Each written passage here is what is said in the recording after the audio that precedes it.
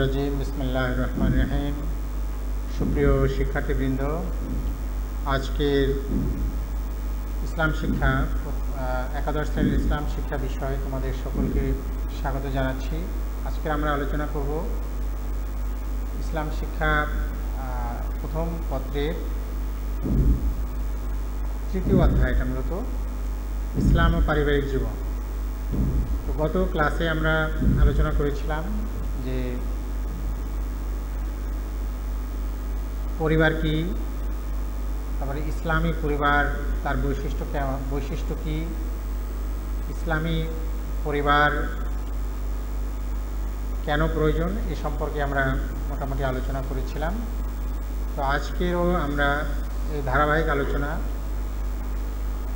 তো আশা করি তোমরা যারা অনলাইনে যুক্ত রয়েছো তারা বিষয়গুলো গভীরভাবে উপলব্ধি করার চেষ্টা করবা যে আসলে মহান আল্লাহ তাআলা যে জীবন ব্যবস্থা হিসাবে সর্বশেষ ও চূড়ান্ত বিধান হিসাবে ইসলামকে আল্লাহ তাআলা তার প্রিয় নবী মোহাম্মদ সাল্লাহ আলি সাল্লামের মাধ্যমে গোটা মানব জাতির জন্য দিয়েছেন।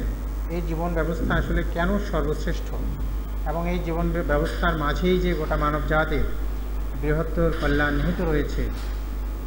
সেই বিষয়গুলো আমরা যেমন বোঝার চেষ্টা করব, একই সাথে এই বিষয়গুলো আমরা অনুধাবনের মাধ্যমে আমরা আমাদের বাস্তব জীবনে এগুলোর প্রতিফলন ঘটানোর যথাযথ প্রচেষ্টা অব্যাহত রাখব। একই সাথে আমরা আমাদের পরবর্তীতে আমাদের যে পরীক্ষা অনুষ্ঠিত হবে সেই পরীক্ষাগুলোতে যাতে ভালোভাবে আমরা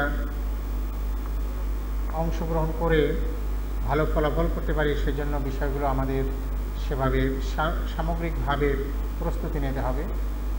তো একটা কথা আমি আগেও বলেছি, এখনও আবার স্মরণ করে দিতে চাই যে ইসলাম শিক্ষা, এটা আসলে শুধু পরীক্ষায় ভালো ফলাফলের আশায় এই বিষয়টা আমাদের কোনোভাবেই করা উচিত নয়। এই বিষয়টা আমাদের জানতে হবে আর জানার সাথে সাথে বিষয়গুলো আমাদের মানতে হবে। তার বড় কারণই হলো যে এই আল্লাহ তাআলা পবিত্র কোরআন আল কারিমকে সর্বশেষ ও চূড়ান্ত জীবন বিধান হিসাবে গোটা মানব জাতির জন্য আল্লাহ প্রেরণ করেছেন। এবং আজকের পৃথিবীতে যত রকমের বিশৃঙ্খলা, হানাহানি, যত রকমের অব্যবস্থাপনা, এর বড় কারণই কিন্তু আল্লাহ তাআলার বিধান থেকে মানুষ আমরা দূরে সরে গেছি। নিজেদের, নিজে, নিজেদের মন গড়া, মানব রচিত যে সকল মতবাদ কিংবা দার্শনিক তত্ত্ব এবং ব্যবস্থা রয়েছে, সেই সকল জীবন ব্যবস্থা কিংবা মানব রচিত মতবাদের প্রতি আমরা বেশি আকৃষ্ট হচ্ছি। যার পরিপ্রেক্ষিতে এই গোটা মানব জাতি আজকের এক মহা সংকটে নিমজ্জিত হয়েছে। এই পারিবারিক জীবন ব্যবস্থায় দেখো যে ইসলামী পরিবার কিংবা ইসলামী ব্যক্তিত্ব যারা আমরা ইসলামকে অনুসরণ করতে চাই কিংবা করি সেই আজ সেখানে কিন্তু দেখা যায় যে একটা বড় যে জায়গাটা সেটা হচ্ছে একটা শান্তি। এই শান্তিটা কিন্তু রয়েছে এবং ইসলাম, ইসলামী সমাজে কিন্তু পারিবারিক যে ভাঙনের যে হার, এটা কিন্তু খুবই কম। পারিবারিক কলহ বিবাদ ইসলামী পরিবারে নেই বললেই চলে।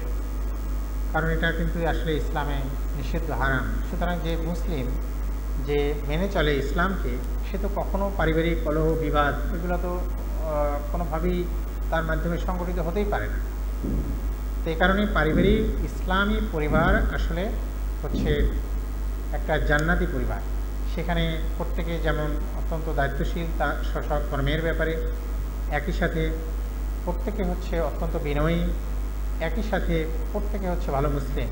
এই ভালো মুসলিম হওয়ার কারণেই কিন্তু সেখানে সকলেই স্ব স্ব দায়িত্ব পালনের ক্ষেত্রে সচেষ্ট, সবাই সবার সহযোগী। যার পরিপ্রেক্ষিতে সেই পরিবারে একটা অন্যরকম শান্তি বিরাজ করে। এখন এই পরিবারের যে প্রয়োজনীয়তা, ইসলামী পরিবারের প্রয়োজনীয়তা কেন আসে? যে কথা একটু আগে বললাম যে এটা হচ্ছে মানব জাতির সুখ শান্তির যে চূড়ান্ত লক্ষ্য, সেই সুখ শান্তির নিশ্চয়তা এখানে রয়েছে। দ্বিতীয়ত, ইসলামী পরিবার হচ্ছে একটা সমাজের পরিবার হচ্ছে সবচেয়ে গুরুত্বপূর্ণ শিক্ষা প্রতিষ্ঠান। এখানে যেমন শিক্ষা দেওয়া হবে, এখানে যেমন শিক্ষা পরিবারের সদস্যরা পাবে, তাদের আচার আচরণের মাধ্যমে তাদের আচার আচরণ সমাজে সেভাবেই প্রতিফলিত হবে। সুতরাং এই পরিবারে যদি ভালো শিক্ষা এবং প্রশিক্ষণ সন্তানদেরকে দেওয়া যায় ইসলামীর, ইসলামের যে নিয়ম কানুন রয়েছে সেই আলোকে, তাহলে দেখা যাবে এই সন্তানরা সমাজের সদস্য হিসেবে যখন তারা ভূমিকা রাখবেন, তখন তারা অত্যন্ত ইতিবাচক ভূমিকা রাখতে পারবেন। সমাজ পরিবর্তন হবে এবং এই সমাজ হবে একটি সুখ ও শান্তিময় সমাজ। এভাবে দেখা যায় যে পরিবারই হচ্ছে আসলে শিক্ষার প্রাথমিক ভিত্তি। তো শিক্ষার যে কথাটা বলেছি, যে যত শিক্ষা ব্যবস্থা রয়েছে পৃথিবীতে, যত মতবাদ রয়েছে সারা পৃথিবীতে, এই সকল মতবাদের মধ্যে ইসলামের যে শিক্ষা এবং আল্লাহ তালার প্রদত্ত যে বিধান, এর থেকে সুন্দরতম কোনো শিক্ষা গোটা মানব জাতির কল্যাণের জন্য আর কোথাও হতেই পারে না। একটা ছোট্ট কথা যদি তোমাদেরকে বলি, যেমন ধরো আজকের বর্তমান পৃথিবীতে যে নৈরাজ্য এবং যে সমস্যা, তার একটি বড় কারণ হচ্ছে সম্পদ কিছু সংখ্যক মানুষের হাতে কুক্ষিগত হয়েছে। সিস্টেমের কারণে। সেই সিস্টেম কি মানব রচিত সিস্টেমের কারণে। যেমন ধরো পুঁজিবাদের, মূলত পুঁজিবাদী ব্যবস্থায় এখন বিশ্ব খুব প্রভাব, বিস্তারকারী একটি অর্থনৈতিক মতবাদ। এই পদ্ধতি পৃথিবীতে অনুসরণের মাধ্যমে যা দাঁড়িয়েছে আজকে, সেখানে নিরানব্বই পার্সেন্ট সম্পদের মালিক হয়েছে এক পার্সেন্ট মানুষ। গোটা পৃথিবীর চিত্র এরকমই। নিরানব্বই ভাগ সম্পদের মালিক হয়েছে ওয়ান পার্সেন্ট মানুষ। আর নিরানব্বই ভাগ মানুষ হচ্ছে সারা পৃথিবীর এক পার্সেন্ট সম্পদের মালিক। তো এই যে বিরাট ব্যবধান, এই ব্যবধানকে কেন্দ্র করে পৃথিবীতে এক বিরাট বৈষম্য এবং বিরাট অরাজকতা সৃষ্টি হয়েছে। এখন এখানে যদি আল্লাহ প্রদত্ত যে বিধান রয়েছে ইসলামী অর্থনৈতিক ব্যবস্থা যদি এখানে কার্যকর হতো তাহলে পৃথিবীর এই যে নিরানব্বই ভাগ নিরানব্বই ভাগ মানুষ ওয়ান পার্সেন্ট সম্পদের মালিক, আর ওয়ান পার্সেন্ট মানুষ পৃথিবীর নিরানব্বই ভাগ সম্পদের মালিক, এটা ইসলামী ব্যবস্থায় কোনোভাবেই এটা হওয়া সম্ভব নয়। কারণ সেখানে একটি সুন্দর ভারসাম্যপূর্ণ ব্যবস্থাও সেখানে রয়েছে। যেমন ধরো, যেমন বিল গেটস পৃথিবীর সবচেয়ে ধনী ব্যক্তি তার সম্পদের পরিমাণ হচ্ছে একশো আটত্রিশ বিলিয়ন ডলার, ইউএস ডলার। আর বাংলাদেশের বাংলাদেশের টোটাল জিডিপি হলো, বাংলাদেশের টোটাল জিডিপি হলো তিনশো দশ বিলিয়ন ইউএস ডলার। তাহলে বাংলাদেশের টোটাল জিডিপি তিনশো দশ বিলিয়ন ইউএস ডলার। আর সেখানে শুধু এক ব্যক্তির এক ব্যক্তির যার নাম বিল গেটস, তার সম্পদের পরিমাণ হচ্ছে একশো চৌত্রিশ দশমিক আট বিলিয়ন ইউএস ডলার তোমরা একটু ভেবে দেখো যে তাহলে কি দাঁড়াচ্ছে? যে এরকম আরও মানে দশজন মানে ধনী ব্যক্তির তালিকা যদি করা হয়, দেখা যাচ্ছে যে বাংলাদেশের অন্তত পাঁচ বছরের যে জিডিপি তা পাঁচ বছরের যে জিডিপি গ্রোথ ডোমেস্টিক প্রোডাক্ট যেটা এই পরিমাণ সম্পদের মালিক পৃথিবীর যদি এক থেকে বিশ জন ধনী ব্যক্তি করা হয় মানে তাদের সম্পদ একত্রিত করা দেখা যাবে যে তার কাছাকাছি হয়ে যাবে। তাহলে একটু ভাবো যে এটা কেন হলো? এটার বড় কারণটাই হচ্ছে ওখানে যে আসলে আমরা এই যে আল্লাহ প্রদত্ত যে সুন্দর যে জীবন ব্যবস্থা, এই ব্যবস্থাকে আমরা ভুলে গিয়ে আমরা এই যে মানব সৃষ্ট যে মতবাদ, এই যে পুঁজিবাদের কথাটা বললাম এগুলো মানব সৃষ্ট অর্থনৈতিক মতবাদ। এই মতবাদ, এই ব্যবস্থাকে আমরা সারা পৃথিবীতে প্রতিষ্ঠিত করার কারণে এই পৃথিবীতে এরকম চরম বৈষম্য সৃষ্টি হয়েছে। প্রতিটা ক্ষেত্রে, আর যখনই শাসিত এবং শোষিত শ্রেণি হবে, তখনই সমাজে এক ধরনের বিশৃঙ্খলার সৃষ্টি হবে। মানুষ যখন তার অধিকার থেকে বঞ্চিত হবে, তখনই এটা হবে। তো ইসলামী পরিবারে আসলে প্রতিটা সদস্য, প্রত্যেক সদস্যই হচ্ছে তারা ইসলামী জীবনযাপনে তারা অভ্যস্ত। তারা ইসলামকেই তারা জীবন পরিচালনার ক্ষেত্রে, প্রতিটা ক্ষেত্রেই তারা এটাকে আমল করে, বাস্তবায়ন করে, যার পরিপ্রেক্ষিতে এই ইসলামী পরিবারের সদস্যবর্গ যখন সমাজে তারা কোনো ভূমিকা রাখেন, তখনই দেখা যাবে যে সেটা, সে তারা ইতিবাচক ভূমিকা রাখেন এবং এই আল্লাহর বিধান তাদের জীবনে প্রতিফলিত হওয়ার কারণে আসলে সমাজের চিত্রই বদলে যাবে। আর সমাজ তো আসলে রাষ্ট্রের বাইরের কোনো বিষয় নয়। তখন রাষ্ট্র আসলে এভাবে অত্যন্ত সুন্দর একটি রাষ্ট্র, কল্যাণ, জনকল্যাণমূলক একটি রাষ্ট্র আসলে উপহার দেওয়া সম্ভব। তো এই কারণে দেখা যাচ্ছে ইসলামিক পরিবার হচ্ছে সবচেয়ে গুরুত্বপূর্ণ বিষয়। যে পরিবারের শিক্ষাটাই হচ্ছে সবচেয়ে গুরুত্বপূর্ণ। আর এই পরিবার গঠন করার জন্য আল্লাহ তালা সুস্পষ্টভাবে পবিত্র কোরআন কারিমে নির্দেশ দিয়েছেন। বহু আয়াত এখানে রয়েছে।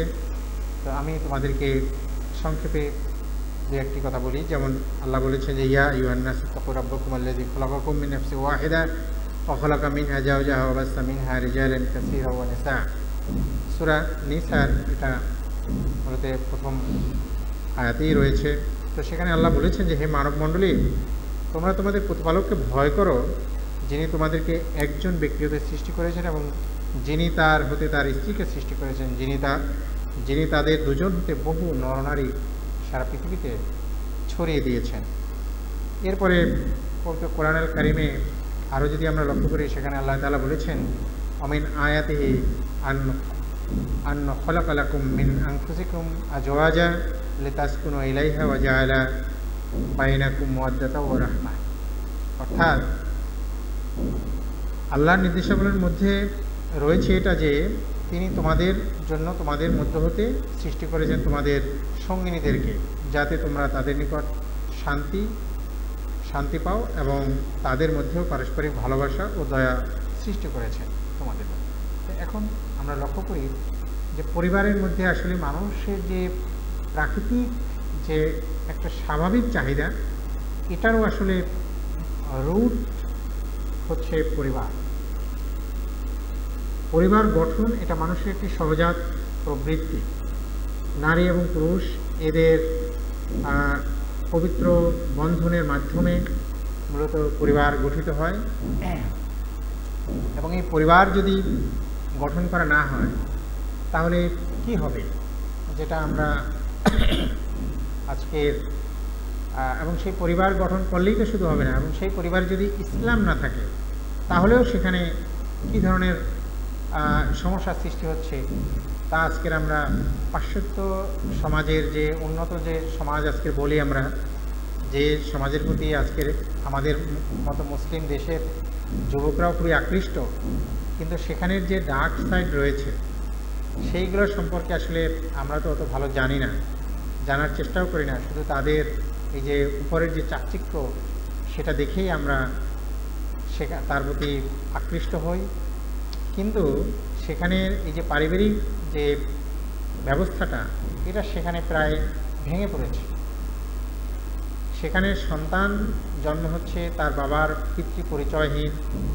সেখানে সন্তান যখন জন্ম হয়, জন্মের পরে সেই সন্তান যে মাতৃ পিতৃ স্নেহ সেই ভালোবাসা থেকে তারা চূড়ান্ত রকমের বঞ্চিত হয়, তারা বড় হয় ডে কেয়ার সেন্টারে মানে মায়ের যে, মায়ের মতো স্নেহ, ভালোবাসা পৃথিবীর কারও পক্ষে দেওয়া আসলে সম্ভব নয়। সেই মাতৃ স্নেহ থেকে বঞ্চিত, পিতৃ পিতৃ পরিচয়হীন মানুষ সেই সমাজে অহরহ, সেই সমাজে পিতৃ পরিচয়হীন শিশুর কোনো অভাব নেই। তো এই, এটাই শুধু নয়, এবং সেখানে যে পারিবারিক যে ভাঙনের যে হার, সেটাও যদি তার প্রতি যদি আমরা একটু আলোকপাত করি, তাহলে আমরা দেখি যে আমেরিকা থেকে ইউরোপের বিভিন্ন দেশে আমেরিকাতেই সেখানে পারিবারিক ভাঙনের হার হচ্ছে, পারিবারিক ভাঙনের পারিবারিক ভাঙনের হার সেখানে দুই হাজার যদি তোমাদের দুই হাজার বিশ সালের একটি ডেটা আমি বলি, তাহলে সেখানে পারিবারিক ভাঙনের হার আমেরিকাতে সেখানে থার্টি এইট পার্সেন্ট এটা কি আমরা ভাবতে পারি? থার্টি এইট পার্সেন্ট একশো জনের মধ্যে একশোটা, আটত্রিশটা পরিবার এভাবে ভেঙে যাচ্ছে? এর, এই সকল দিক বিবেচনা করলে আমরা দেখব যে শুধু পরিবার গঠনই শুধু নয়, বরং আল্লাহ তাআলা যে সর্বশ্রেষ্ঠ এবং সর্বোত্তম যে জীবন ব্যবস্থা গোটা মানব জাতির কল্যাণের জন্য দিয়েছেন, এই জীবন ব্যবস্থার আলোকে পরিবার গঠন করতে হবে। যদি করা হয়, তাহলে সেই পরিবার, যেটা বলেছি, সেই পরিবার হবে একটি জান্নাতি পরিবার, সেটা হবে একটি সুখ, শান্তি ও সমৃদ্ধি, একটি পরিবার, কারণ সমৃদ্ধি কেন হবে? সেখানে আসলে ইসলাম প্রত্যেকটা মানুষকে দায়িত্বশীলতা, দায়িত্বশীলতার শিক্ষা দেয়। পরিবারের প্রত্যেকটা সদস্য তারা কি করবে? তারা নিজ নিজ যোগ্যতা অনুযায়ী, সামর্থ্য অনুযায়ী, অবস্থান অনুযায়ী তারা তাদের দায়িত্ব পালন করবে। তো যেখানে প্রত্যেকটা মানুষ দায়িত্বশীল, তারা কাজ করবে, সেই পরিবারে তো দারিদ্র, এই কথাটা কোনোভাবেই এটা সামঞ্জস্যপূর্ণ হবে না। কারণ কর্মই মানুষের অর্থনৈতিক মুক্তি একটা বড় অবলম্বন হচ্ছে কর্ম। কর্মহীন মানুষই মূলত দরিদ্র মানুষ। তো ইসলাম তো মানুষকে কর্মহীন, হীনতা শেখায় না। ইসলাম মানুষকে শেখায় হচ্ছে কর্মবীর হিসাবে গড়ে তোলার প্রশিক্ষণ ইসলাম দিয়ে থাকে। তো তাহলে সেখানে থাকবে সমৃদ্ধি, সেখানে থাকবে শান্তি। কেন শান্তি থাকবে? প্রত্যেকের দায়িত্ব সেখানে স্পেসিফাইড করা আছে। যে যার দায়িত্ব সম্পর্কে সে সচেতন থাকবে, সেটা সে পালন করবে। পাশাপাশি অন্যকে কীভাবে সহযোগিতা করা যায়? সহযোগিতা কোনো মনোভাব প্রত্যেকটা সদস্য থাকবে, কারণ তারা মুসলিম। এটা আল্লাহ তালার একটি বিধান। এই সকল কারণে ইসলামী পরিবার হচ্ছে অত্যন্ত জরুরি। তো আমি আশা করি তোমরা ইসলামী পরিবার কেন প্রয়োজন এ সম্পর্কে মোটামুটি ধারণা লাভ করেছ। এরপরে আমরা আরেকটি বিষয় শিখব, সেটা হচ্ছে এখন সন্তানের প্রতি পিতামাতার দায়িত্ব। এটা তোমাদের আজকে কিছু কথা বলবে বিষয় যে সন্তানের প্রতি আসলে কেমন দায়িত্ব হবে? পিতামাতার দায়িত্ব কেমন হবে সন্তানের প্রতি? এই ব্যাপারেও আসলে পবিত্র কোরআন আল কারিমে ইসলামে সুস্পষ্ট দিক নির্দেশনা রয়েছে। তো খুব সংক্ষেপে আমি যদি বলি, তাহলে এই সন্তান সুন্দর এবং ভালো মানুষ হিসাবে সন্তানকে গড়ে তোলার জন্য ইসলামের যে দিক নির্দেশনা, এটা সন্তান ভূমিষ্ঠ হওয়ার অনেক আগেই ইসলাম দিয়ে থাকে। সন্তান ভূমিষ্ঠ হওয়ার পূর্বেই এই ব্যবস্থা, এই দায়িত্ব বাবা, মা উভয়কে এটা ইসলাম দিয়েছে। কারণ কি? কারণ ব্যক্তিকে ব্যক্তিকে ইসলাম অত্যন্ত গুরুত্ব দিয়ে থাকে। ব্যক্তি যদি ভালো ভালো মানুষ হিসাবে গড়ে ওঠে, ইসলামিক মানুষ হিসাবে গড়ে ওঠে, তখন তার মাধ্যমেই মূলত তার আচার আচরণ, তার কর্ম, কর্মকাণ্ডের ইতিবাচক যে ফলাফল, এটা পরিবার, সমাজ সকলেই ভোগ করবে। তো এই কারণে দেখা যায় যে সন্তান ভূমিষ্ঠ হওয়ার পূর্বেই সুনির্দিষ্ট দিক নির্দেশনা দেওয়া হয়েছে যে পিতা কি করবেন মাতা কি কাজ করবেন? এমনকি পুরুষ পুরুষ মানুষ যখন বিয়ে করবেন, তখন তিনি ভালো পরিবার এবং ভালো সন্তান গঠন করার জন্য বা ভালো সন্তানের প্রত্যাশায় কী ধরনের পাত্রী পছন্দ করবেন, পাত্র কীরকম পছন্দ করতে হবে, এ ব্যাপারেও সুস্পষ্ট দিক নির্দেশনা রয়েছে। তো আমি সেদিকে আর যাব না। অল্পের মধ্যে শুধু বলব, এটা যে সন্তান ভূমিষ্ঠ হওয়ার পূর্বে থেকেই, পূর্ব থেকেই সন্তানের সুস্থভাবে দুনিয়াতে যাতে আসতে পারে, সেজন্য সুস্থ পারিবারিক জীবন, কোনোভাবে ঝগড়া, ঝাঁটি পারিবারিক কলহ, বিবাদ এগুলো কোনোভাবেই সেখানে করা যাবে না। সেখানে একটি সুস- সুস্থ পারিবারিক জীবন যাপন করতে হবে। পাশাপাশি মা, তিনি যেন অধিক পরিমাণে আল্লাহ তালার গুণগান, প্রার্থনা, কোরআন তেলাওয়াত, বিভিন্নভাবে যে ধর্মীয় যে সকল কাজকর্ম রয়েছে, সেই সবগুলো অধিক, সেই সব কাজে অধিক পরিমাণে মনোনিবেশ করেন, সে সম্পর্কে দিক নির্দেশনা দেওয়া হয়েছে। তিনি সব সর্বদা ভালো চিন্তা করবেন। সর্বদা তিনি ভালো চিন্তা করবেন। সন্তানের জন্য আল্লাহ তালার কাছে ভালো সন্তানের জন্য বেশি বেশি করে দোয়া করবেন। বাবা দোয়া করবেন, সন্তানের মা দোয়া করবেন। এবার এরপরে বাবা কোনোভাবে যেন সন্তান সম্ভাবা মায়ের কোনো ধরনের কোনো অসুবিধা না হয়, সেদিকটা খুবই গুরুত্বের সাথে তিনি লক্ষ্য করবেন এবং সেগুলো তিনি যথাযথভাবে দায়িত্ব পালন করবেন। এরপরে সন্তান যখন জন্ম হবে, তখন হচ্ছে এই সন্তানের এই সন্তানের জন্য শুরুতেই ভূমিষ্ঠ হওয়ার সাথে সাথেই কিছু ধর্মীয় কাজকর্ম আছে, রীতিনীতি আছে।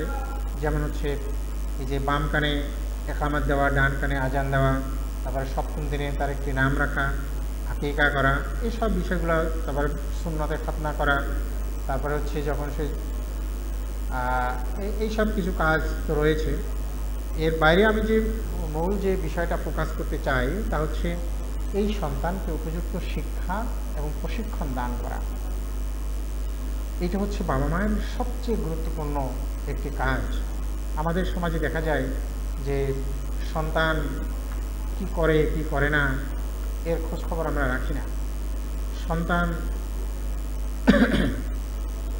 সন্তানকে যথাযথভাবে দেখভাল করার যে দায়িত্ব, তার যে আদর, স্নেহ, ভালোবাসা, তার খানা খাওয়া দাওয়া, তারপরে তার মানে তাকে তার যে সার্বিক যে কেয়ারিং লালন পালনের এটাও অনেক বাবা মা ঠিকভাবে করেন না, কাজের বুয়ার কাছে রেখে দেন, কিংবা অন্যান্য দেশে মুসলিম কান্ট্রি ছাড়া যে সকল অমুসলিমদের দেশে তো এটা ডে কেয়ারেই মূলত রাখা হয়, তো এগুলো ইসলাম এটা সমর্থন করে না। ইসলাম হচ্ছে, ইসলাম সন্তানকে বাবা মায়ের কাছে রাখাটাকেই ইসলাম বলে এবং ইসলামের দিক নির্দেশনা এটাই যে সন্তানকে আসলে বাবা মায়ের কাছেই লালিত পালিত হবে এবং সন্তান বাবা মায়ের কাছেই তারা তাদের প্রাথমিক যে শিক্ষা সেটা পরিবার থেকেই পাবে। এই জন্য কোনো অবস্থাতেই সন্তানকে মাতৃ মাতৃস্নেহ মমতা থেকে কোনোভাবেই বঞ্চিত করার সুযোগ নাই। তাহলে সবচেয়ে বড় যে বিষয়টা বললাম, সেটা হচ্ছে সন্তানকে উপযুক্ত শিক্ষা এবং প্রশিক্ষণ এটা দেওয়া। এখন এই বিষয়টা আসলে আরও যথেষ্ট আলোচনার দাবি রাখে যে আসলে তাহলে কি শিক্ষাটা দেব? কি প্রশিক্ষণ সন্তানকে দেব? তো সে ব্যাপারে প্রথম কথাই হচ্ছে যে, একরা বিসমি রব্বিকাল্লাজি খলাক। সন্তানকে আল্লাহ তালা শিক্ষা দিতে বলছেন। প্রথম, যে শিক্ষার মাধ্যমে মহান আল্লাহ তালাকে চেনা যাবে তাহিদের শিক্ষা দিতে হবে। এবং সেই প্রশিক্ষণের আলোকেই সন্তানকে গড়ে তুলতে হবে। তার প্রতিটা কাজ, কর্ম, চিন্তা, চেতনায় সে যেন আসলে আল্লাহর একাত্মবাদ, আল্লাহ তালার আল্লাহ তালার পরিচয় সম্পর্কে সে ওয়াকিফাল হতে পারে, তার বাস্তব জীবনের দায়িত্ব দায়িত্ব, কর্তব্য সম্পর্কে সে অকিফাল হতে পারে এবং সেই দায়িত্ব এবং কর্তব্য যথাযথভাবে পালন করার প্রয়োজনীয় যোগ্যতা সম্পন্ন হিসেবে, প্রয়োজনীয় যোগ্যতা সম্পন্ন মানুষ হিসেবে যেন সে গড়ে উঠতে পারে এবং বাস্তব জীবনে যত চ্যালেঞ্জ আছে, সেই চ্যালেঞ্জগুলো মোকাবেলা করার মতো তার সামর্থ্য তার তৈরি হয়, সেই ধরনের প্রশিক্ষণ তাকে আসলে দিতে হবে। পরিবার থেকে এই ধরনের দৃষ্টিভঙ্গি তার তৈরি করতে হবে। এখন অনেকে বলতে পারে যে স্যার তাহলে তো মানে আহ, যে দুনিয়ার যে অন্যান্য যে শিক্ষাগুলো রয়েছে যেমন যেমন আমরা অর্থনীতি তারপরে জনপ্রশাসন কিংবা মহাকাশ বিজ্ঞান কিংবা অন্যান্য যে বৈজ্ঞানিক যে বিষয়গুলো এগুলো আসলে এক কথায় বলতে পারি যে সকল কোনো শিক্ষাই আসলে ইসলামের বাইরে নয়। কোরআনের কোরআনের আমরা দিকে যদি- কোরআন দিকে যদি লক্ষ্য করি, তাহলে আমরা দেখি যে সেখানের যে ভার্সগুলো আছে, কোরআনের আট ভাগের এক ভাগ আয়াতই হলো সরাসরি বিজ্ঞানের সাথে সম্পৃক্ত। এবং কোরআন হচ্ছে পুরোপুরি একটা জীবন ঘনিষ্ঠ জীবন ব্যবস্থা। এখানে ইসলামের শিক্ষাটা যদি আমরা কাউকে দিতে পারি, তাহলে তার মহাকাশ কিংবা সমুদ্র বিজ্ঞান, মহাকাশ বিজ্ঞান কিংবা physics, chemistry, biology, X, Y, Z, doctor কিংবা অন্য কোনো প্রফেশন, কোথাও আসলে কোনো ধরনের ঘাটতি হওয়ার সুযোগ নাই। জীবন ঘনিষ্ঠ যে শিক্ষা, সবই আসলে ইসলামে রয়েছে এবং সবগুলো শেখার জন্য ইসলাম উদ্বুদ্ধ করে এবং এটাকে আসলে এই শিক্ষা অর্জন করা মুসলমানদের জন্য অত্যন্ত গুরুত্বপূর্ণ।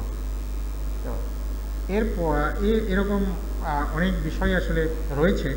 এর পরে আরেকটু আলোচনা করব তোমাদের এই যে, এখন পিতামাতার দায়িত্ব তো পিতামাতা পালন করল সন্তান বড় হলো। এখন এই সন্তানের কি দায়িত্ব রয়েছে পিতামাতার উপরে? এখন এখানেও দেখো এমন একটা মানে ব্যালেন্সড একটা ব্যবস্থা যে আজকের পিতামাতা যখন ছোটবেলায় আমাদেরকে লালন পালন করেছেন, এখন তারা বার্ধক্যে উপনীত, এটা প্রকৃতি মানে প্রকৃতির একটা নিয়ম, আল্লাহর দেয়া নিয়ম। এখন এই নিয়মের বাইরে আসলে কোনোভাবেই আমাদের যাওয়া সম্ভব নয়। তাহলে এখানে এই পিতামাতাকে এখন যখন তারা শক্তিহীন হবে, কর্মহীন হবে, তখন তাদের দেখভাল, তাদের দায় দায়িত্ব কে পালন করবে? সেখানে একটা বিরাট গুরু দায়িত্ব কিন্তু এই সন্তানকে আল্লাহ তালা দিয়েছেন। সেখানে অনেক মানে অনেক বক্তব্য ব্যাপারে কোরআন কারিমে আছে এবং সর্বাধিক যে গুরুত্ব দেওয়া হয়েছে আল্লাহ তালার পরেই, আল্লাহ তালার ইবাদত, বন্দেগী, এর পরেই যে বিষয় গুরুত্ব দেয় সেটা হচ্ছে পিতামাতার। প্রতি এটাও কিন্তু ইবাদত এটা অনেক বড় ইবাদত এবং সবচেয়ে বড় যে কবিরা গুণা আছে, সেই কবিরা গুণার তালিকায় কিন্তু দুই নাম্বারই হচ্ছে, এক নাম্বার হচ্ছে আল্লাহর সাথে শির করা আর দুই নাম্বারেই কিন্তু হচ্ছে পিতামাতা, পিতামাতার অবাধ্যতা, পিতামাতাকে কষ্ট দেওয়া, এই বিষয়গুলো। তাহলে এখানে আরও একটা বিষয় একটু তোমাদের বলে বলে রাখতে হবে, সেটা হচ্ছে যখনই আমরা সামর্থ্যবান হব, তখন কিন্তু অনেকে আমরা বুঝি না, আমরা মসজিদ, মাদ্রাসায় খুব দান করি।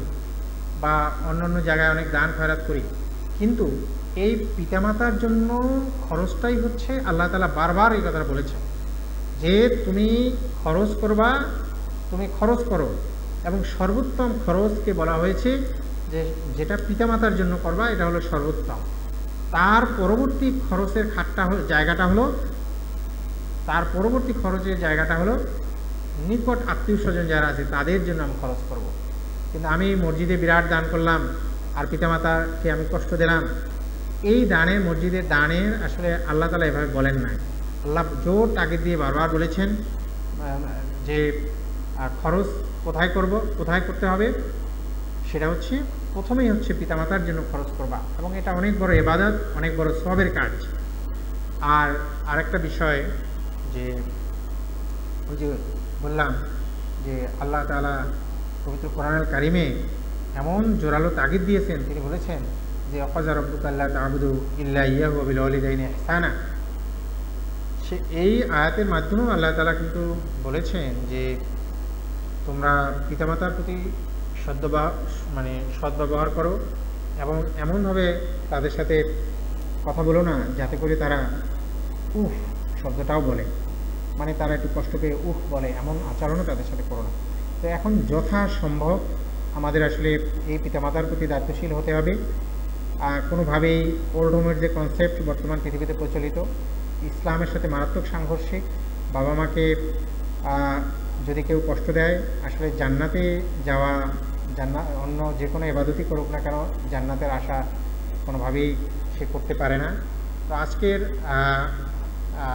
লেসনের মাধ্যমে আমরা যে বিষয়গুলো মূলত আলোচনা করলাম, তা হচ্ছে ইসলামী পরিবারের প্রয়োজনীয়তা ও গুরুত্ব। তারপরে হচ্ছে ইসলামী পরিবারে সন্তানের প্রতি বাবা মায়ের দায়িত্ব আর বাবা মার প্রতি সন্তানের দায়িত্ব। এই তিনটা বিষয়। তো তোমরা বাসায় এই বিষয়গুলো ভালো করে একটু পড়াশোনা করবে, করে এর উপরে তোমরা একটা প্রবন্ধ লিখতে পারো যে একটা প্রবন্ধ লিখে আমাকে দেখাতে পারো সুযোগ থাকলে। যে যে পিতামাতার প্রতি সন্তানের কি দায়িত্ব, কর্তব্য রয়েছে এ বিষয়ে। তো তোমাদের সকলকে অসংখ্য ধন্যবাদ। সবাই ভালো থাকো, সুন্দর থাকো। আসসালামু আলাইকুম রহমতুল্লাহ